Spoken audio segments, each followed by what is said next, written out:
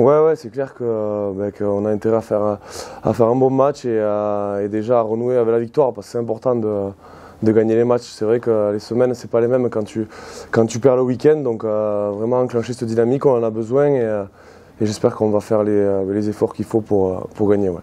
Ah oui, bien sûr, qui plus est en plus devant notre, notre public, ils sont, euh, bah, ils sont derrière nous, même si cette saison pour l'instant euh, c'est pas encore ça, mais, euh, mais il reste, comme j'ai dit, il reste beaucoup de matchs. Et, au vu de nos entraînements et de nos semaines, sincèrement, je pense que je pense qu'on n'est pas loin. Donc maintenant, à nous de, de valider le, week-end. Ouais, bien sûr. Après, on sait que c'est un match, un match avec de la pression, mais et voilà, je pense que quand on est sportif de haut niveau, c'est aussi un peu ce qui, ce qui, nous anime de jouer des matchs avec euh, de la pression, avec de l'intensité. Parfois, c'est peut-être pas les, les, plus beaux matchs, mais c'est les matchs qui se gagnent à, l'envie, à l'état d'esprit, et, c'est ce qui peut aussi euh, fédérer un groupe des fois. Donc, euh, on a fait une semaine qui a été plutôt bonne. Maintenant, à nous de, le retransmettre samedi sur le terrain.